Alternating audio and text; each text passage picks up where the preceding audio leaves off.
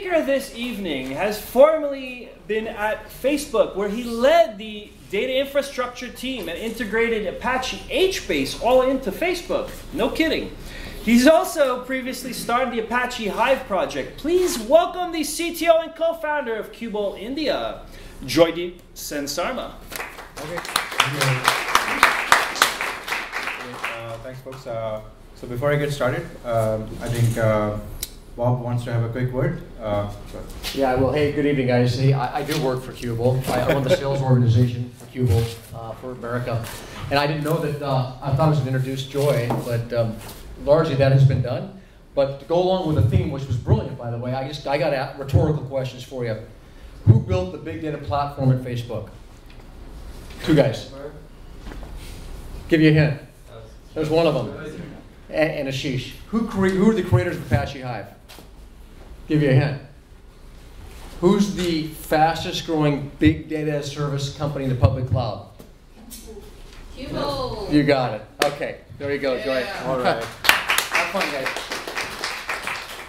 Thank you, guys. Uh, so, I think that's the end of, end of the vendor spiel. Right? um, uh, so first of all, you know, uh, let's keep this interactive. Uh, uh love to, uh, you know, get questions and answer them on the fly, and just make this a fun discussion. love the really small sort of setting. let's keep it in that spirit. Um, this is a very expansive topic. So you know, data lakes, data warehouses are like huge, huge things. We could we could take the discussion in many different directions. So I try to keep this more like a, a little bit of an overview, like a little story, a story both about sort of what I have seen in this field and my journey and the company's journey uh, through it, uh, and, and what I know about it. Uh, and it'll you know just sort of it's a little bit of a hopefully a little uh, interesting that way. Uh, and then, then, you know, I'll get to some technical stuff as well. Uh, but we'll just start off with storytelling, and I, will you know, based on the questions, you know, we can go in different directions as, as, as, as we need to. All right, so uh, story of data lakes and the story of Qubole. So, um, so th this is roughly you know what I'm going to cover. Um, one of the troubles I had uh, when I was trying to put down this presentation is that I really wanted to talk about the change that's happening in the industry, uh, what is happening, but then that begs the question why it is happening. And I think that's one of the uh, most interesting questions. So I'm going to start off a little bit by giving you some context of why we see so much change in this industry. Uh, why now and why not in like 1980 or something, right? Um, and I'm going to go a little bit into uh, data warehouses first because I think it's very hard to talk about uh, the story of data lakes without uh, looking back at you know where we came from, which was uh, you know traditional relational data warehouses. Uh, and then talk a little bit after that about you know why we ended up with data lakes. Uh, talk about Hadoop, uh, which is uh, where my and I think by and large I think data lakes uh, uh, I think are these days associated with Hadoop distributed file system. and then you know what we have seen in the cloud in the last few years that we have been running in this, this company. and then finally close out by showing you something interesting as to how actually uh, the, both these worlds of the data warehouse and data lake are actually coming back. They're sort of colliding. Uh, and then, you know, uh, but, but, but there are some interesting takeaways still that we are left with. Okay, so that's the outline. I'll get started. So what's, what's driving change? You know, uh, I, I, just wanted to cover this very briefly because I'm going to keep, keep coming back to this during the course of the talk. Um, so largely, you know, the changes in the industry are driven by hardware, use cases, and data volume. Um, as we go through the presentation, you will see that uh, increasingly uh, a lot of changes are driven by the fact that commodity hardware is getting better and better.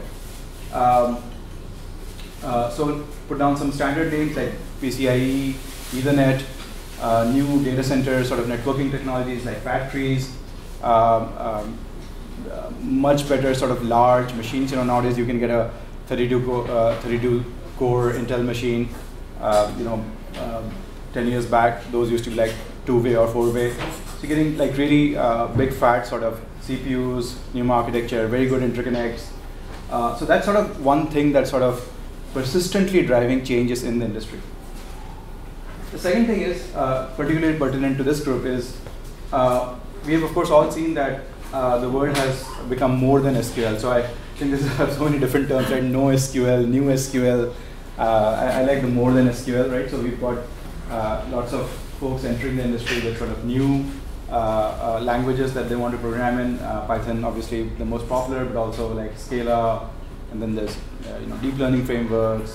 so many, so, so many, so much proliferation of sort of languages and runtimes that people want to program.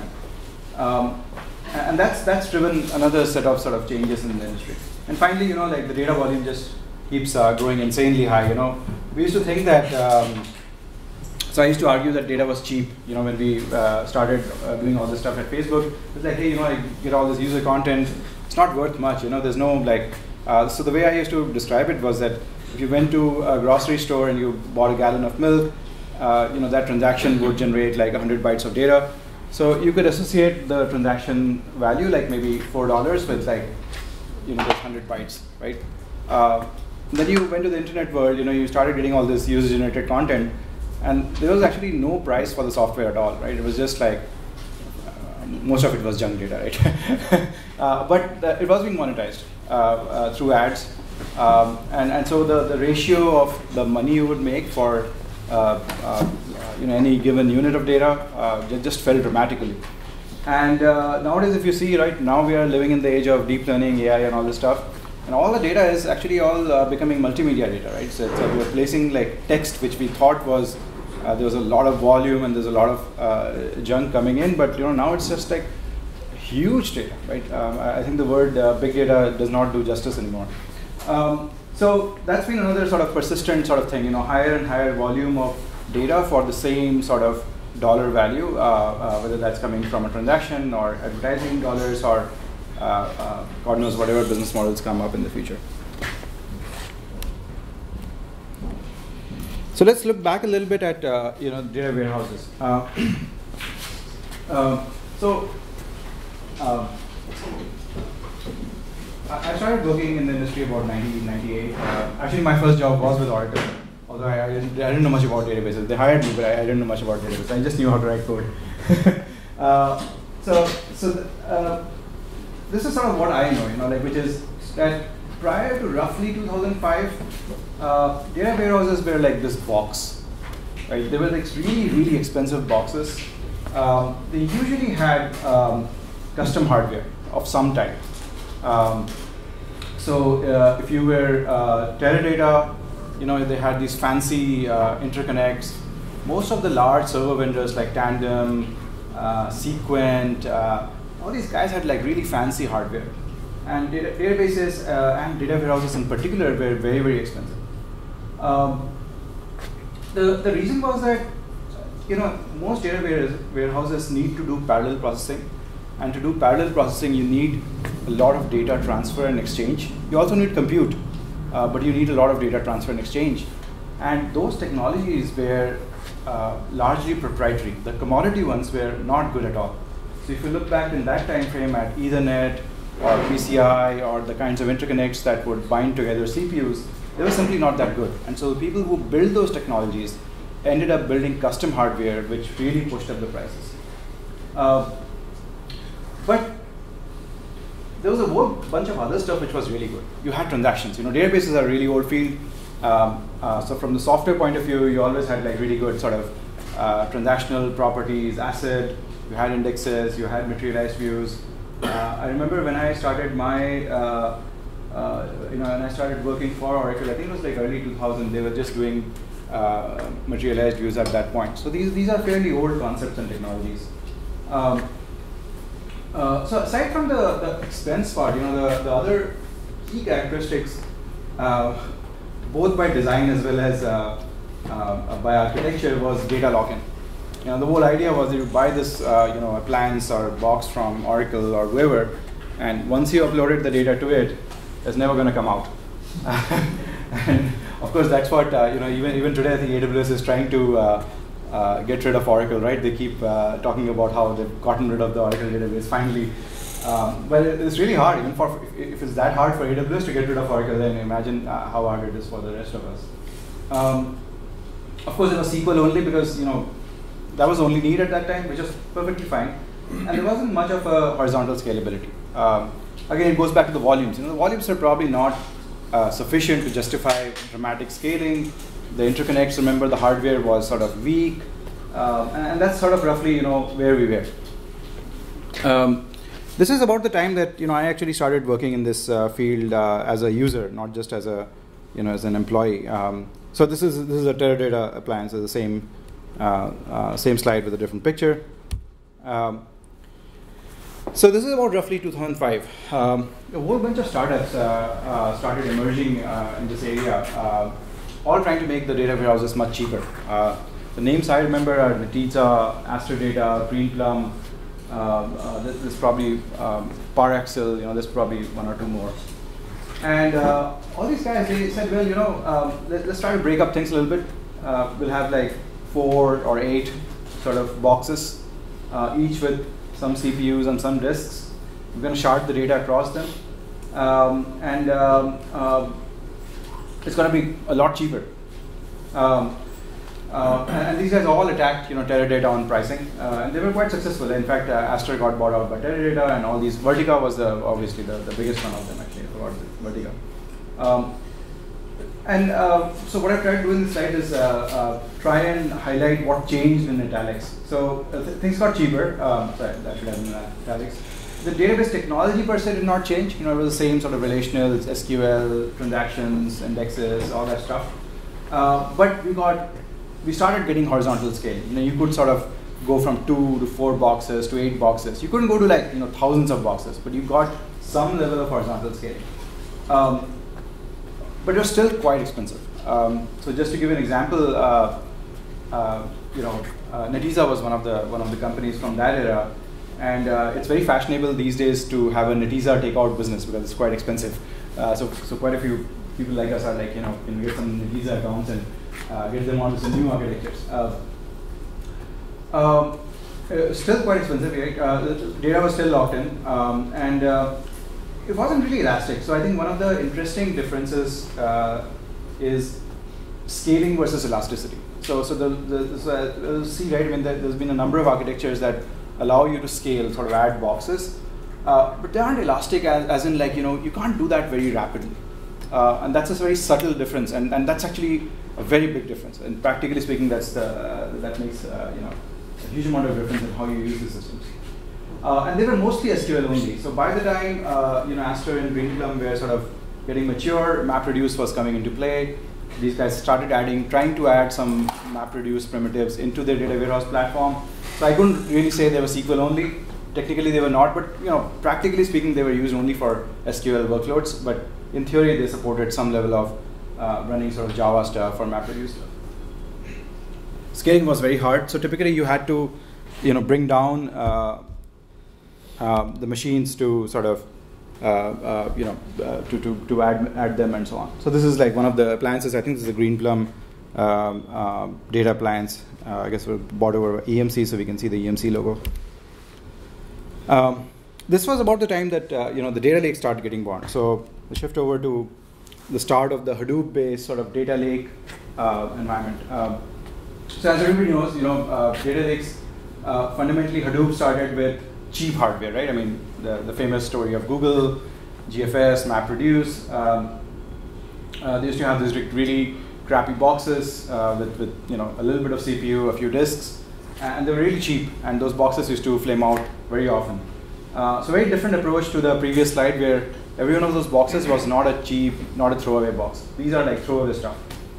Um, and uh, uh, you know, as, as, again, hopefully everybody knows about Hadoop, you know, you just got a whole bunch of these boxes, uh, deployed the Hadoop distributed file system over it, um, uh, highly resilient, so if the box is crapped out, you know, the file system would be just fine.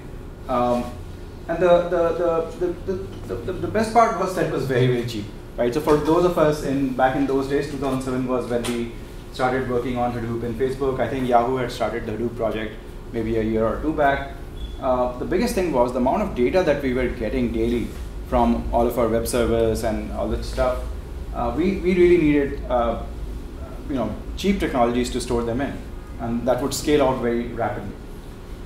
Uh, however, as a side effect, we also got these other goodies, right? Which was number one that comes to my mind is no data lock-in. You know, you had a file system, you put the data in there, uh, and you could uh, run any code against it right? Um, uh, so this was also the time where I think we started seeing the second trend that I talked about, which is we started seeing uh, more than SQL requirement in the market, right? So I remember back in those days, uh, 2007 odd, uh, Facebook was full of um, very very young engineers. You know, it was just uh, Zuck and his buddies from Harvard and Stanford and all the cool cool colleges. And these guys, like you know, they all wanted to write code in Python, not even Java. You know, Python was what they wanted to write code in. Um, um, and I think the change that was happening in the industry was that for the first time, uh, you didn't have a data team that was only doing data analysis. So that used to be the old model, right? Uh, I came from Yahoo. I worked a little while in Yahoo before I joined Facebook. The model was that if you had a data question, you would go to a team of analysts. Uh, those team of analysts would have access to, you know, they have pretty fancy systems, but you know, you would go to them, say, hey, I want this insight, I want this report. Uh, those would be usually trained in SQL, and, and then they would sort of do the insights for you, and they'll give you back a report, right? Whereas by the time you know uh, uh, Hadoop started coming up, the, the, the world has started changing where everybody in the company wanted access to data. And of course, I think nowadays we take this for granted. I think this is we, are well into the age of data democratization, where uh, uh every company is data driven, and you know, uh, not just Python. You know, hopefully half the people in the company know how to run some TensorFlow code as well, and so on. Right. So the world is moving along really, really fast. But I think we started seeing the stage in 2007. Um, uh, we got started getting uh, elasticity. Like you know, you could actually uh, just add and delete boxes pretty quickly in this architecture. Um, uh, we kept the columnar data stuff. So all the so columnar data was popularized by Vertica, and that was one of the big changes in the data warehousing industry. that those are things that you know we were able to continue to have. In fact, the first columnar data format in the Hadoop world, the RC file format, was done at Facebook. That was a project that uh, you know, my team was uh, sort of driving, and uh, we sort of drove that project, which then became ORC file and so on. Um, so, so there was a lot of goodness. Really helped us sort of deal with all this data, open up our doors to all the Python and Java programmers um, um, reasonably fast, and so on. Uh, however, Hadoop came with its own uh, downsides. Actually, let me just switch the picture so we're looking at something different. This is what a Hadoop array in those days used to look like, like tons and tons of pizza boxes uh, all racked and stacked together. Um, so a few of the downsides actually I was not able to figure out when I was working on this stuff. I used to think that, hey, this is like not, not too hard. Uh, but it turned out that uh, you know you, you needed experts to manage the stack. I'll come, come back to that a little bit later. Um, one of the big aspects was that because of the influence of the Google paper on MapReduce, which talked about data locality. Um, the whole architecture was driven by storage and compute being tightly coupled. In fact, if, if we were in, uh, you know, back in 2008 or so, uh, the first thing everybody would talk about is what's your locality factor? You know, how, how often do you process data close to where it's living, right? Uh, nowadays, we don't talk about locality all that much. Uh, and that's why you know I put those technology trends up front because what has happened very interestingly in the industry is that uh, those data locality uh, requirements used to be driven by um, lack of sufficient network bandwidth. So if you put your data far from your compute, uh, you didn't have the right network architecture and enough bandwidth that you could move the data to the compute uh, without substantially degrading your performance.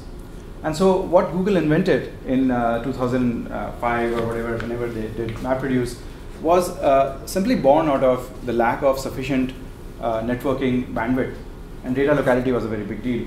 But data locality had this created this problem that you always had these pizza boxes with storage and compute coupled. And if you wanted storage, you had to add compute. If you had to add compute, you had to add storage. Um, so it was, it was pretty hard to manage uh, in that sense as well. And we lost all the all the database goodies. You know, we, we didn't have transactions, we didn't have indexes, we didn't have uh, materialized views, uh, none of that all that old database uh, goodness. Um, there's hardly any security. um, and uh, uh, you know, traditional like stuff like ODBC, JDBC drivers, the whole ecosystem of BI tools, uh, you know, it's pretty pretty crappy. Um, so. Um, so this is sort of uh, a few sort of a little bit more uh, deep dive into you know sort of our experience at Facebook. You know, this is sort of 2007 to 11, which is the years that I, I was I, I and Ashish both worked at Facebook. Uh, sort of the, the, the growth curve uh, that you can see is you know astonishing. Uh, we had like you know maybe uh, 10 to 15 people managing the whole uh, data footprint. So like uh, this is like 2011, so it's really really old, but you can still see I think it's like 25 um, petabytes if I'm not mistaken, which was a very very big deal at that time. And just you know 10 15 people managing all of that, writing the code, doing all the pipelines, all of that stuff. And I think it's it's it's it's, uh, it's, it's, crazy numbers right now. The other thing that I think um, really changed about uh, business, uh, which I could not really articulate from the trend point of view, is that businesses started scaling really fast.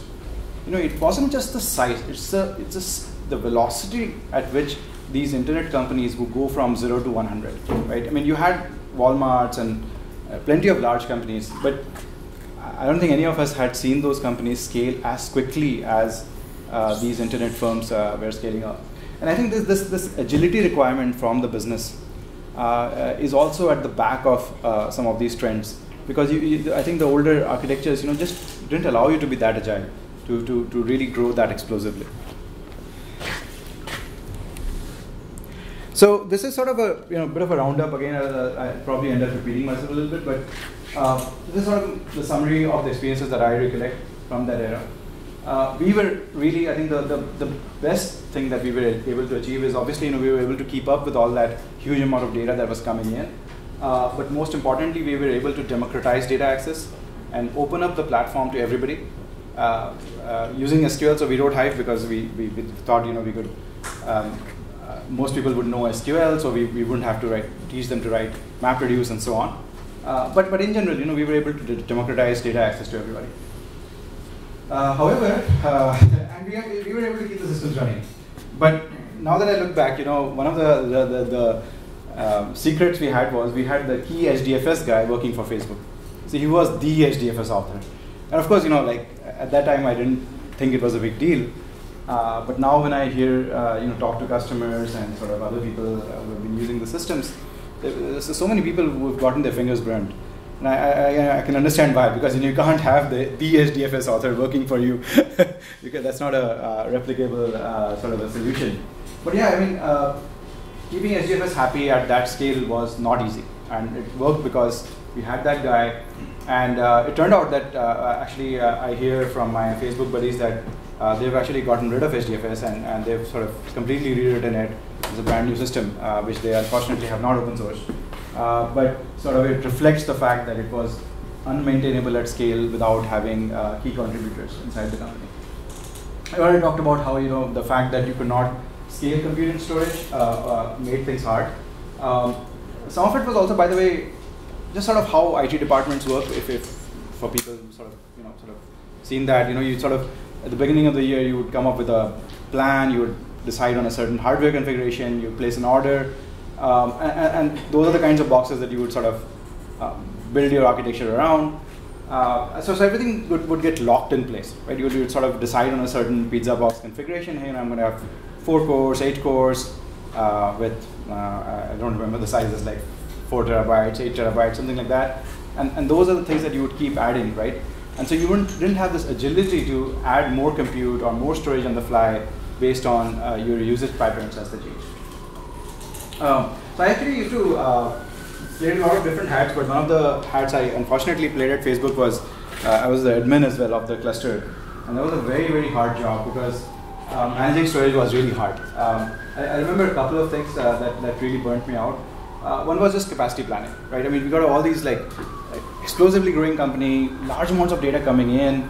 Uh, and all these users, you know, all these engineers that we were hiring uh, who wanted to get their hands on data, do some interesting data mining, uh, go impress Zuck, and, and we were you know left holding the, the, the, the, bag, right? And, and uh, it was very hard to keep uh, like on top of capacity. Every, every uh, like my recollection is I don't know how many weekends or days I spent just trying to save the last you know 1% or 2% of space because the cluster would be at 90 plus percent of space, and we were like close to falling over. And it was a constant battle of you know uh, planning capacity. Uh, the other thing that was really hard was uh, whenever we would um, um, you know uh, sort of um, rev our hardware, like go from um, like you know one generation of Intel boxes to the other one. Uh, that, that was like a huge project, like this forklifting like petabytes of data from one set of pizza boxes to another set of pizza boxes required like a team of five, six people working like for a few months. Uh, uh, was, a very deal. Um, uh, one of, one of the, the, the, interesting stories I always tell from that era was uh, th that also actually gave me a fantastic opportunity which I did not use. Uh, for a time in, during one of these migrations, I had like a 3000 node cluster all to myself. This is 2011, Bitcoin was just being born. And I think that was one of my regrets. I, I didn't mine Bitcoin, you know, on that uh, on that farm. Uh, but uh, there were, you know, the, the, the, issue. It was mostly downside, very little upside. Um, cost governance was hard, so you had a certain, uh, you know, um, hardware footprint. Um, um, all these users would come, pound on it, and uh, as an admin, you know, it was very hard to say no, right? Because it's an open platform. You can come and do whatever you want, and a lot of people would would abuse it, would, would do bad things. Um, like I, uh, one of the, my recollections uh, very strongly from that era was that uh, you got all these young engineers coding in Python, and the first thing they will do is start up a dict, like a little hash table, uh, and then they'll start stuffing things into that hash table. They'll go through gigabytes of data, and the hash table would overflow. Uh, early days Hadoop was not very robust. I didn't have containers and all that stuff, and boom, you know, one bad job, whole cluster sort of, um, you know, everybody sort of gets knocked off. Um, it was very it was a very hard battle to find who the bad users were and uh, you know pushing back against them and, and, this is uh, security was something that we, we never uh, you know uh, we never got around to. We had plenty of other issues. Uh, I, I, know it doesn't sound good and, and everybody's aware of security issues with Facebook. And I think some of it went back to the observation here that we were moving so fast. We had so much on our plate that we just didn't have time to pay attention to like things like security. So 2012. So I, um, you know, the cloud-based data lake is, uh, is of course, uh, uh, you know, is, a, is, a, is, something that's happening today. It's not, it's not that it ended in 2018. I just put a date there to try and summarize my experiences uh, in this field. So uh, Ashish and I left, uh, you know, Facebook in 2011. we just wanted to try and do something different.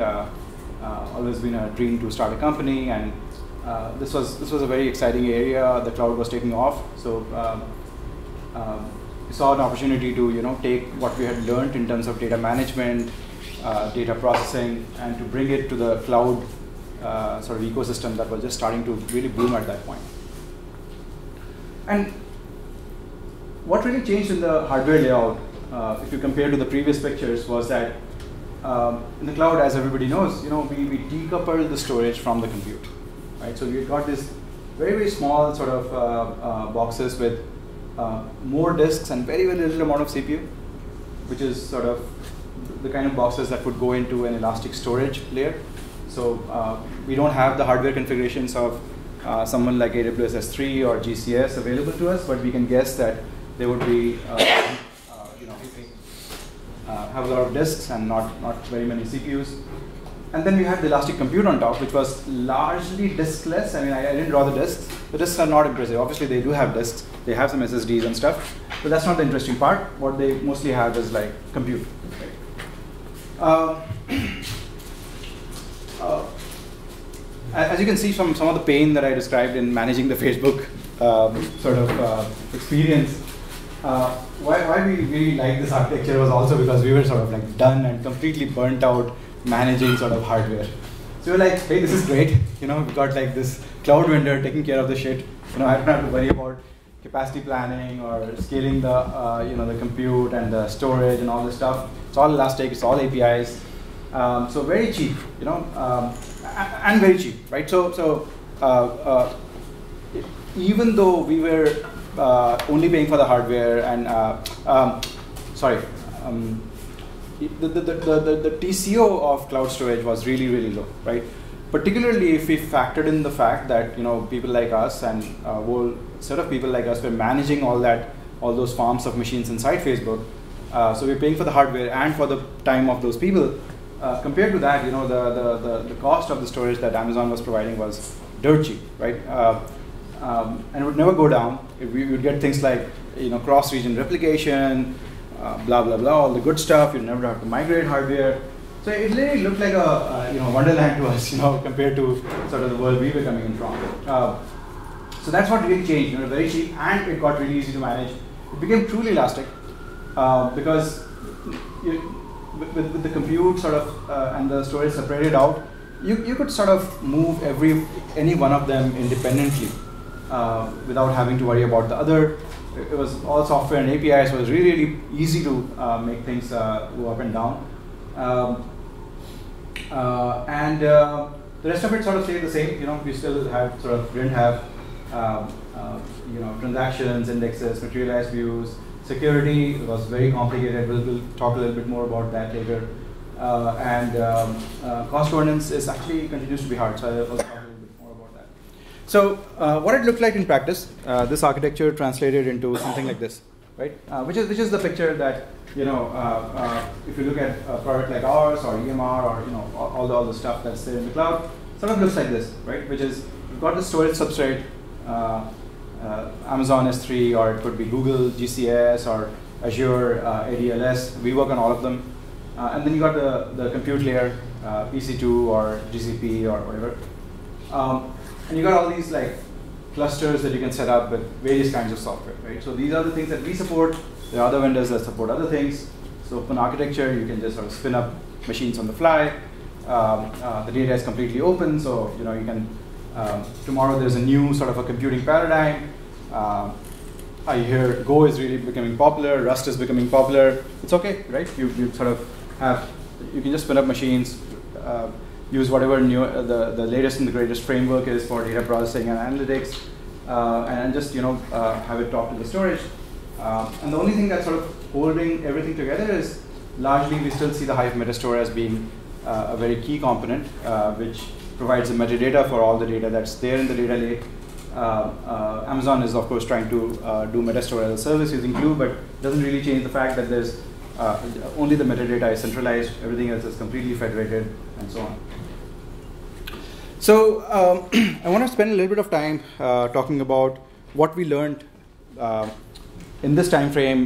you know, in, in this company, Qubole, we, we've obviously had lots and lots of customers and users using us. We've ourselves been users of our own systems uh, and Dogfood Edit, uh, and, and, spend a little bit of time talking about what we've learned and what, where we see the challenges. So, like I said, you know, the, the, the biggest success was that you don't have to manage storage anymore.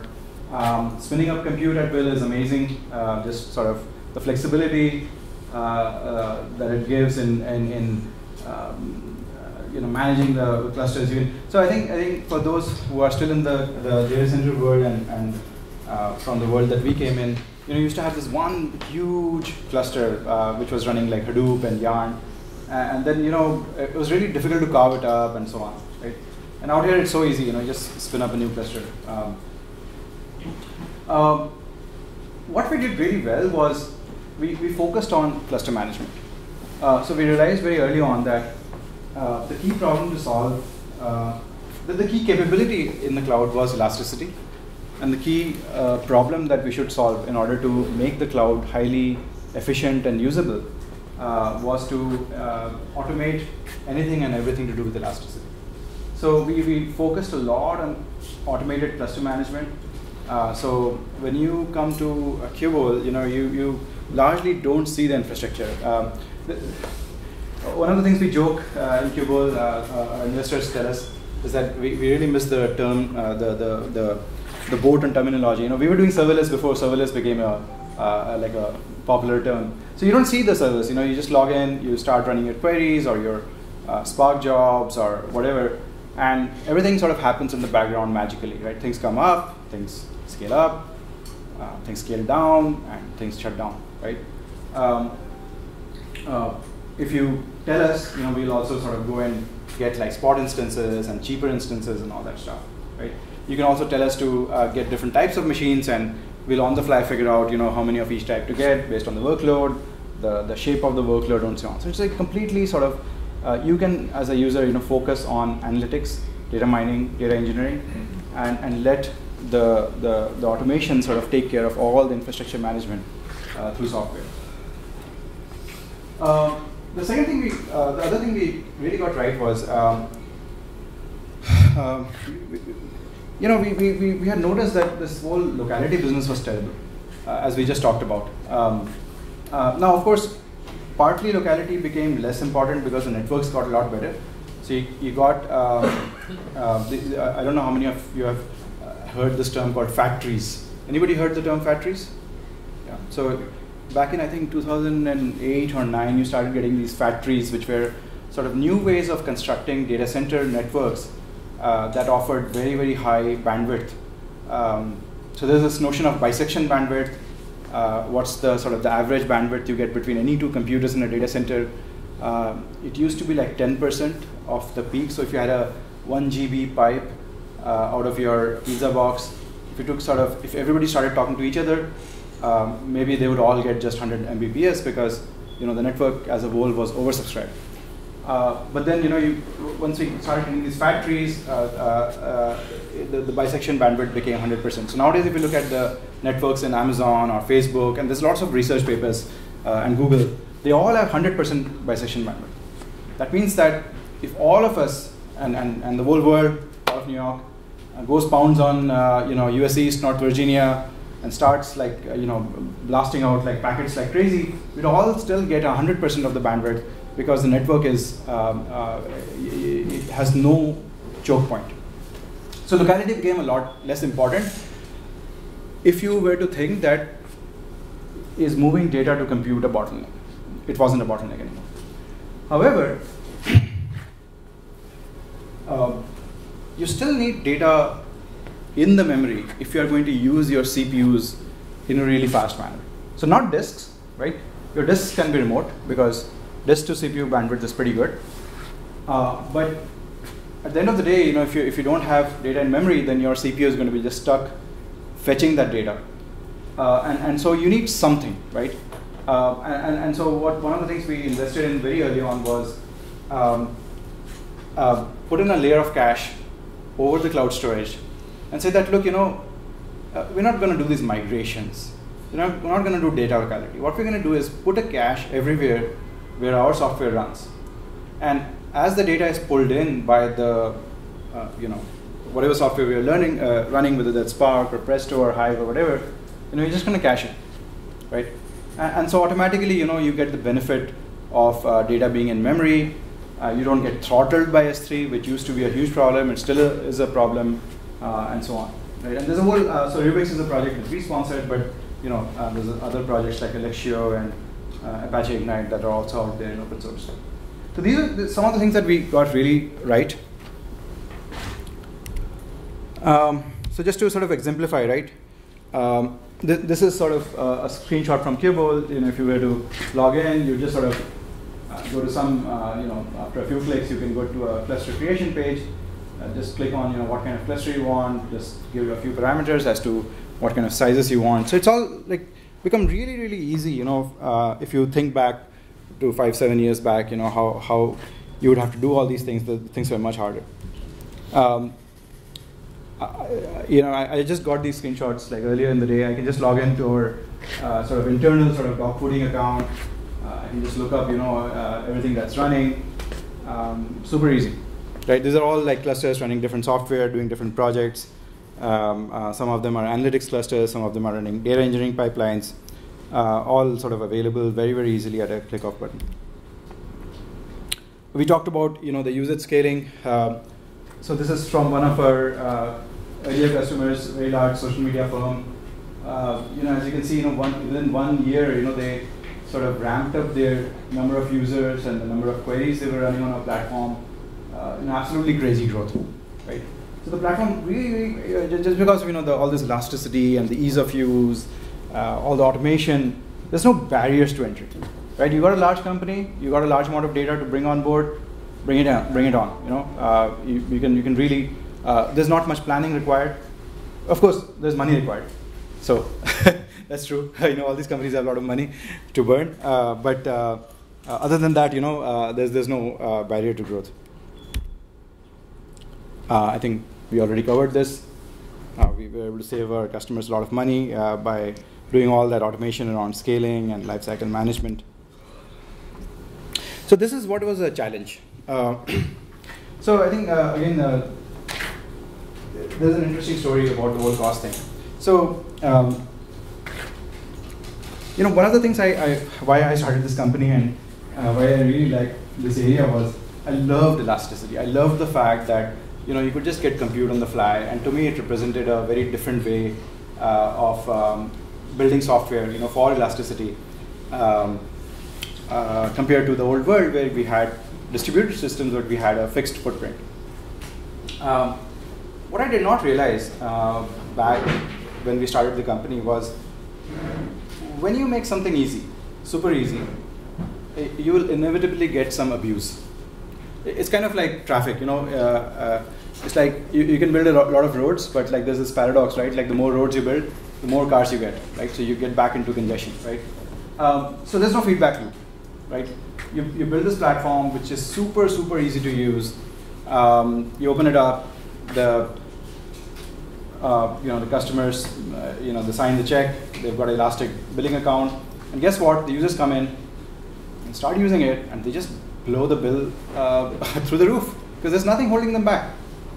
Uh, and this was actually a very interesting insight, uh, at least for me personally, that there is a huge downside to elasticity, which is that there is no feedback loop, there's no backward pressure on costs, and you will end up with uh, runaway costs just because you've made something very, very easy. Um, uh, which is a problem we didn't have with those fixed clusters, right? Because there we had the opposite problem. Like we bought these 100 machines. You know, you could do whatever you want, but you can't really drive up my cost because I already paid for those 100 machines. But here, if you come and run large query, my cluster is going to scale up. It's going to bring up 1,000 machines, 2,000 machines, whatever you need. And uh, that's, that's a hard problem. So cost governance actually has become uh, a very interesting and new challenge that we see in the field uh, uh, for users who have really uh, you know been successful with Qubole and have large departments working uh, sort of using our platform. Uh, they need the tools to be able to um, identify you know who's consuming a lot of cloud resources, to be able to give feedback to them, um, and, and to have some you know sort of some, some way of sort of you know controlling this. And, and that's one of the things we're working on. Uh, so nowadays, Qubole actually collects everything that our customers do throughout, like there's thousands of, uh, there's actually tens of thousands of machines running at any given point in time. We actually keep collecting the data from all of them. You know, what's running, who's running them, uh, how many slices of the CPU they took, how many slices of memory they took. And we create all these uh, sort of dashboards and reports where people can come in and uh, at the end of the month, they can say, aha, you know, um, that pipeline, you know, that's really uh, killing me, right? Um, we actually try to find uh, jobs that are almost identical. So if you sort of run, you know, data pipelines, you run the same thing every night. So our software actually goes and looks at the trace of everything that's run, uh, finds things that are um, that look like duplicates, and the administrators can get this sort of deduplicated view where they can find all the sort of the things that are you know running again and again, and we roll up the cost, and then you can see like a pipeline-oriented view of the costs, um, which is you know, enormously useful as an administrator. Um, security has been another huge challenge. Um, uh, and I think this is where actually security is a, still a work in progress for the, for the whole data lake stuff. Um, I think unfortunately, what we're seeing here is a collision of sort of two paradigms, right? One is the SQL-oriented paradigm where you've got like the familiar sort of, you know, um, access control rules and uh, um, grant statements, and you know uh, nowadays we also have column security, column obfuscation. Uh, it all works very nicely when you are in the SQL world and all of your uh, data access is mediated through SQL. But we came into this world so that we were not bottlenecked by SQL, right? And we want to read these files in some kind of new formats and all that stuff, right? Um, so it has been actually a, quite a hard journey to figure out um, how do we get the best of both worlds? Um, and this is sort of roughly where we are, is um, uh, platforms like ours and you know other platforms should be doing something like this, which is that we do have uh, for every user and for user groups, we have tokens uh, like uh, you know tokens that we get from LDAP or uh, the cloud-based sort of IAM stuff. those tokens allow users access to certain subset of files. Um, and if they're doing SQL access, then you, you typically segregate those accesses into a different sort of a cluster farm, and there you get more fine-grained access control. You can actually do column level stuff, and you don't give access to users uh, uh, to permissions to the direct raw files underneath. Uh, so it's, it's a little bit complicated story, but I think it is sort of uh, not too many ways around it because we want to get the best of both worlds. We want to get SQL, but we also want to get like full control over files.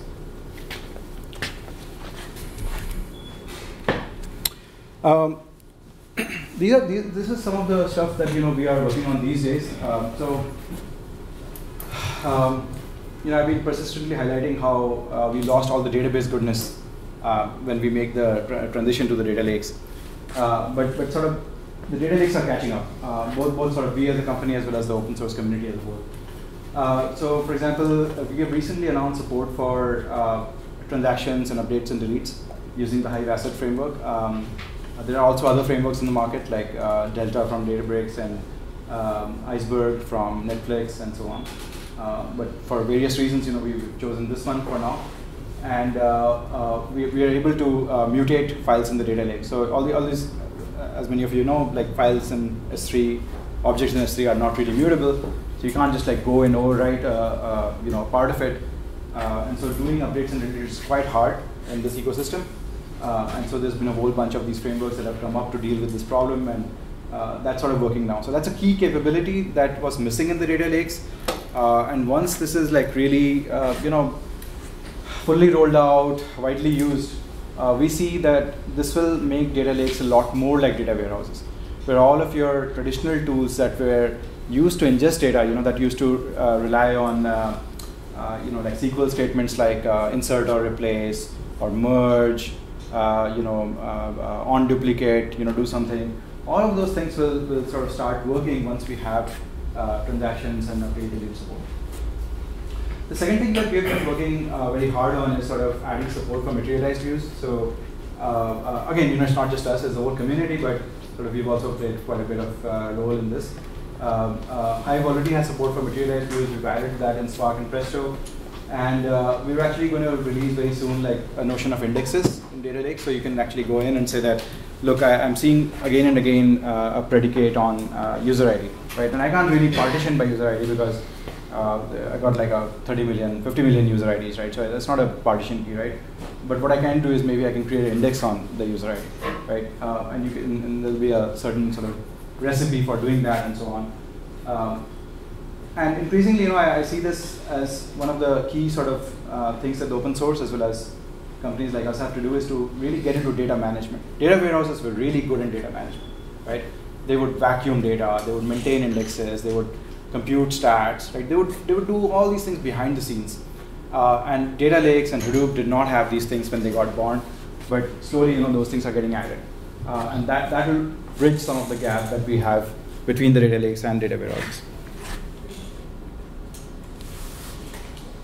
Um, so just to conclude, right, uh, at least from my personal bias perspective, uh, within a year or two, I want to see every, all the cons gone, everything, you know, uh, everything, everything green. Uh, uh so we get a, you know, we, we, we're not left with any compromises uh, between data lakes and data warehouses. Um, okay, revenge of the cloud data warehouses. Uh, this is an interesting topic. Now, this is actually an architecture deck from the most prominent cloud data warehouse vendor. I won't take the name. I think everybody can guess. Um, and if you see their architecture, you know the uh, they also store all the data in S3. So this is this database storage is actually not this. This is S3. Right? And they've got this virtual warehouses, which look like those clusters that I just showed on the previous page. Right? Um, and they've got some other stuff. Doesn't really matter. Um, so we've got this interesting uh, uh, thing emerging where actually the cloud data warehouse, uh, the warehouse companies have also realized that um, really, you know, like this, this elastic compute and elastic storage is the right model. So I'm going to just put all of my stuff in the elastic storage, and then I can spin up as many clusters as I want. and and so you got a you know that's a beautiful story, right? Uh, and, and so so these architectures are actually sort of merging. Um, so if you if you look at sort of the, the two sides, you know, data warehouses born, uh, you know, way back. Um, I don't know exactly when, way, way back, and then you know data lakes born maybe uh, through Hadoop, maybe around 2007 or 2005, 2007. And if you look at where we are today, both these technologies are actually trying to converge because naturally everybody wants all the goodness in their platform. Nobody wants to be left with any compromise, right? However, a few things are not going to change, I think, uh, uh, because of the conflicting requirements that these platforms have. First is fundamentally, uh, th- this I believe is what we're going to be left with, even you know after many years of evolution, is closed versus open. You know, fundamentally, data warehouses, uh, all the all the participants in that market today, continue to have a closed approach to uh, data access. You load data into them, and you always have to go into that data warehouse to get access to that data. You cannot get access to the raw files into that data. Um, that's not just true for like that's also true for like systems like BigQuery, for example.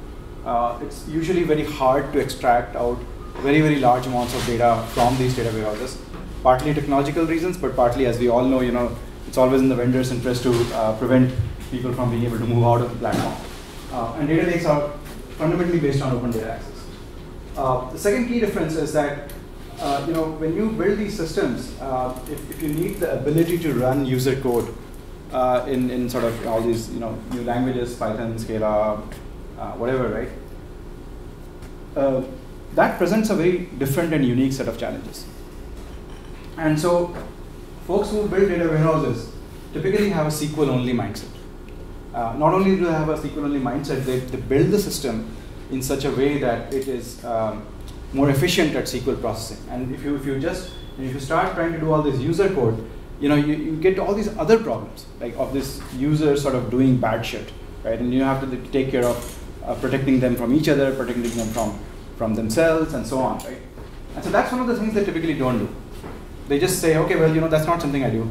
You can always take the data out from me and sort of do it elsewhere. But but as far as I'm concerned, I'm mostly a SQL. Uh, of course, it doesn't mean that they, they don't do make any extensions to their languages. So it has also been um, true traditionally that data warehouses have added uh, like data mining supports. If you look at BigQuery, you know, like they have recently sort of um, you know added a whole bunch of data mining sort of primitives into the SQL language itself. Uh, same for Oracle. Oracle did that many many years back. Uh, but they don't really let you run your own code. You know, it's sort of like uh, yeah, sort of a, uh, you know a managed runtime, right, where you can only do a few things. Uh, finally, you know, data warehouses are built to the SQL standard, which is great. You know, we've got the SQL 92, 99, all these standards, and they're built to that standard, which is great. That means that you can hook up your BI tools, and you know things just work. Whereas if you look from the data lake point of view, uh, while we also adhere to the SQL standards, but it's really open source that drives uh, what we offer. Right? So as, as open source uh, projects get uh, popular, uh, they become, they are in widespread use, vendors like us who are on the data lake side would absorb those into a platform, provide them as additional services, or, or actually there are multiple vendors, you know, you, you, you uh, work with many of them at the same time because your storage is open. Uh, and so we are much more open source driven versus being proprietary and standards driven. Uh, and I don't, I don't see these sort of converging. Uh, while many other things like, uh, you know, the fact whether you have a materialized view or you have transactions or index or whether you have elasticity, you know, all of those things are, are, sort of uh, becoming harder and harder to distinguish between these two uh, different sort of platforms. Um, I think that's about it. So, you know, um, like I said, you know, the, the, the, there's sort of, sort of too many things we could sort of talk about in this in this uh, sort of broad area. So uh, we do write a lot of stuff on our blog. Like there's lots of uh, obviously case studies from customers, which I find interesting, as well as we've got lots of technical blogs. Uh, uh, we talked a lot about caching, transactions, uh, materialized views, elasticity. we, we generally tend to write a lot about the technologies that we have built and how they work and so on. So, so if you're interested, you know, you'll find tons of material there. And of course, you want to give the platform a spin, you can uh, just go to the test drive uh, link here. Uh, we can probably send it out to the, the list later on uh, and just sort of kick the, kick the tires there. Uh, that's it. So, questions?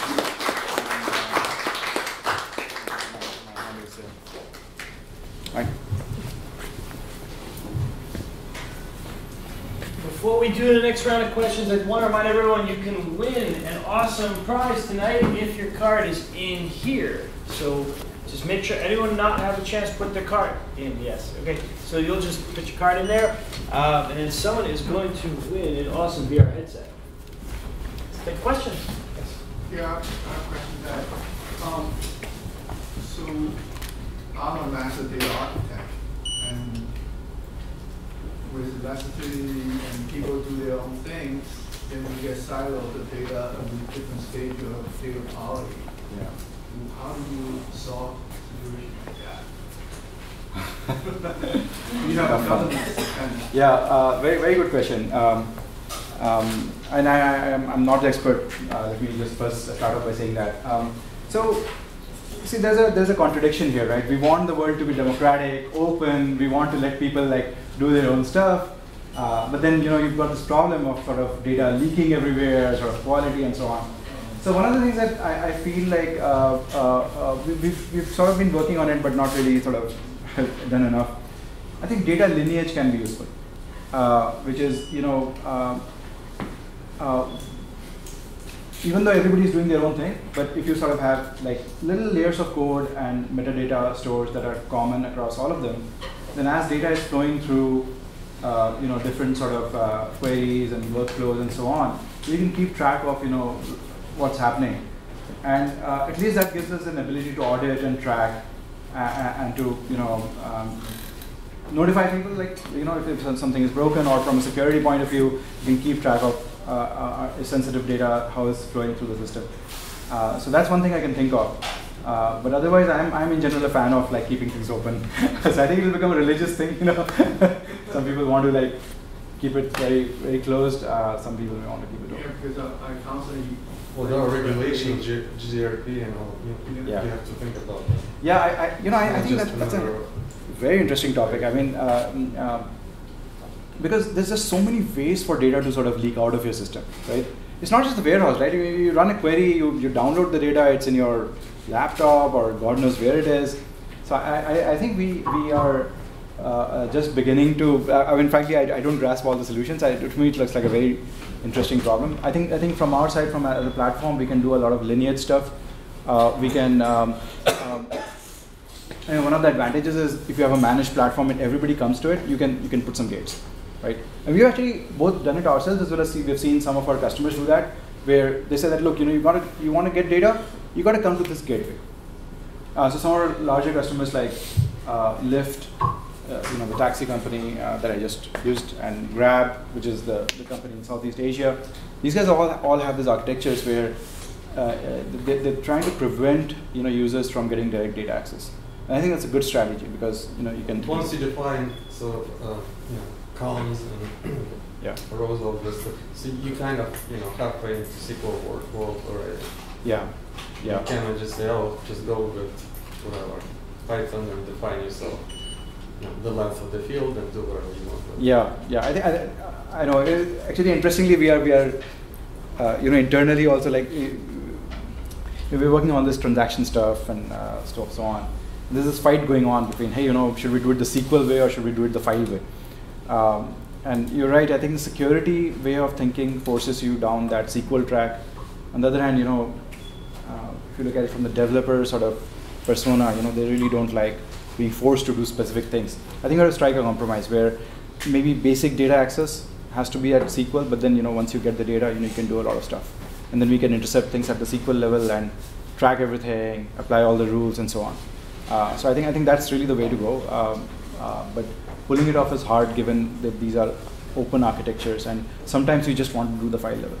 Uh, so what we also see in our uh, customer base is a religious approach does not work. So for example, um, uh, you know, you could get, give all the analysts in your company SQL only access, or at least you can force them that you gotta like fire some SQL query and then do something on top.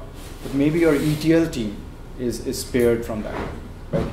Um, it wasn't exactly by design, but what, what we've seen in our customers is they actually do this. They, they come to Qubole and I mean, some of this like sort of, uh, again, sort of growth gets ahead of us. Like we, we, we thought that people would have, one customer would have one account. And what, what they do is they just create lots of accounts. It's like, hey, I'm going to take my ETL team, to give them one, one account. And there, you know what, I'm going to throw the doors a little bit open because these are my trusted users. They've got access to files. All those like 100 business analysts we have, you know, they're, they're going to be a different sort of account with different sort of policies.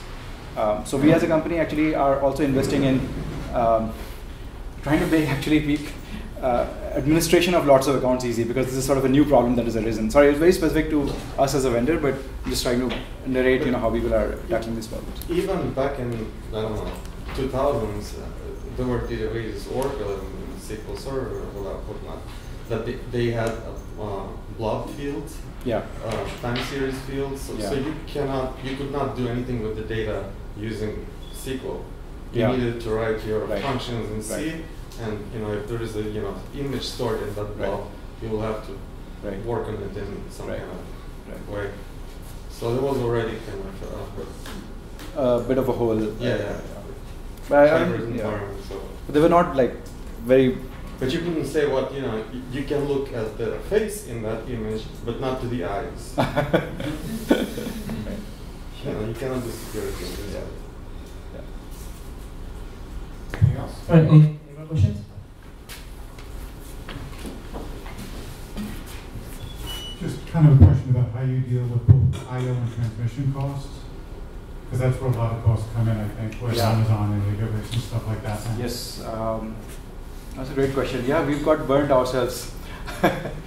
um, so first of all, you know, uh, I did not go uh, a lot into the specifics of how Qubole works and so on.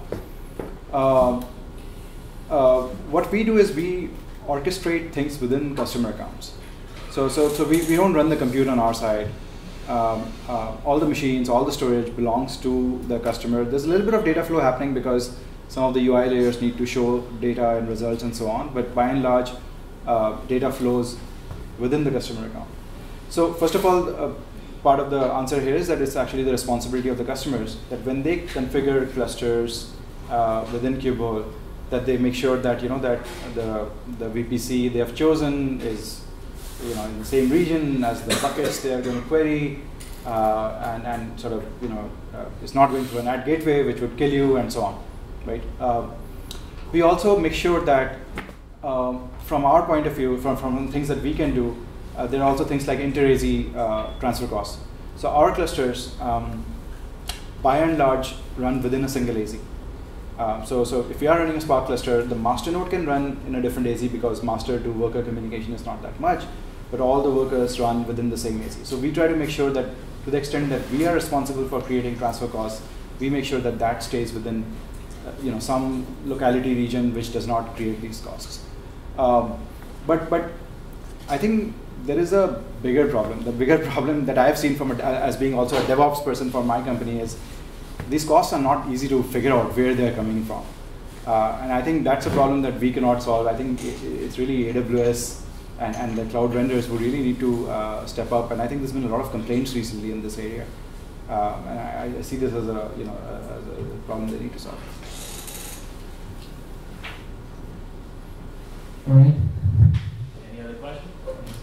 Um, not sure how uh, it, what this question is, but like, how do you deal with like um, redundancy in your data bank accuracy? How do you deal with like the wasted data like that? Does that make sense?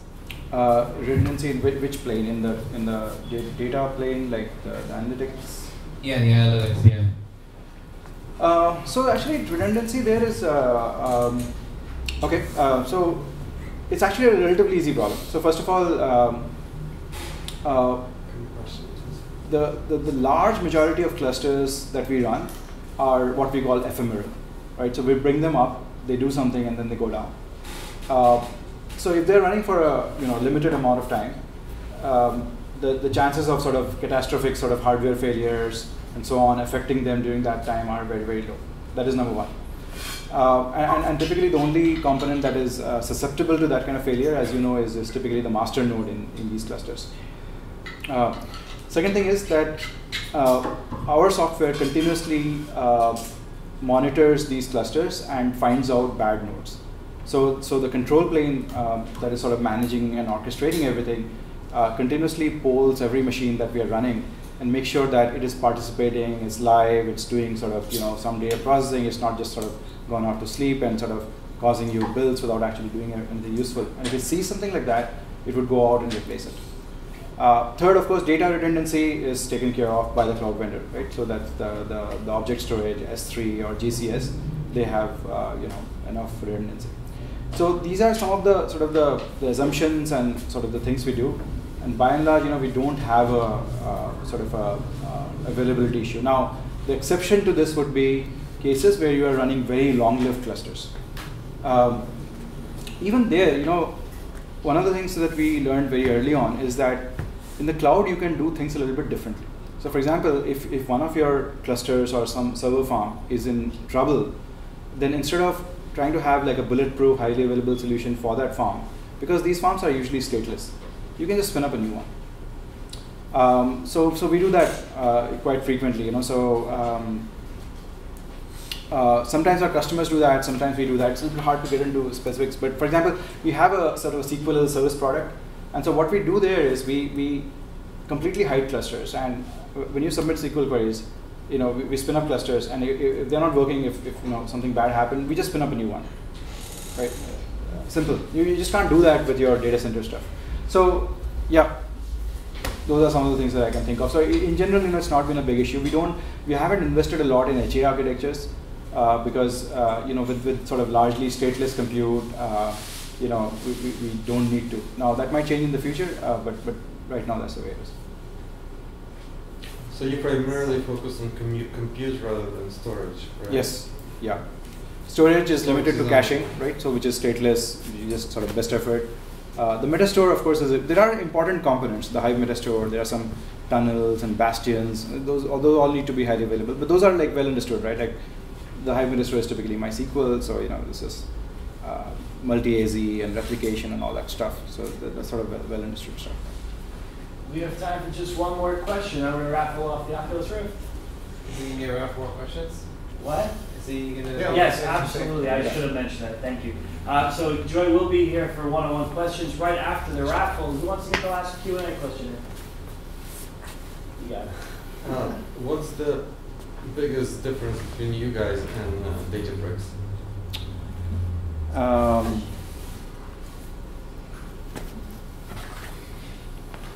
Doozy of a final question. We are better? no. Um, okay. Um, so I think we've had different focuses as a company. Um, I, I, think you know, by and large, we do the same thing, um, right? So, so everything that you saw in the pictures, uh, I didn't show you the notebooks and all that stuff, but you know, we, we do Jupyter notebooks, Zeppelin notebooks, data science, and so on. Uh, they've, they've got a focus as more of an AI and a machine learning company. Uh, so they've sort of evolved from being more than Spark, right? They're trying to sell to data scientists. They've got a really slick product for data scientists. Uh, we've always been a little bit more of an infrastructure management company that also does tooling and does create software for data scientists, but we are very, very strong in platform management, optimization, and so on, right? Uh, we are also uh, not a Spark only shop. So we do Presto for BI, we do Spark for uh, data science and data engineering. We also do Hive for sort of, you know, customers of Cloudera and people who are moving from the data center and so on, right? So we, we were a much more diverse set of technologies. And so usually our customer bases are quite different. You know, we go in as, uh, most of our customers use us as platforms, not for one single technology, but for a suite of technologies that gives them a common set of sort of tooling, standards, um, ways of managing cost, security, right? Um, and, and, and we are very, very good at driving down cost. Um, so, so, you know, similar but different. And we, I guess we have our own niches. So. Okay, thank you very much, Joydeep. Can I ask you to mix it all up?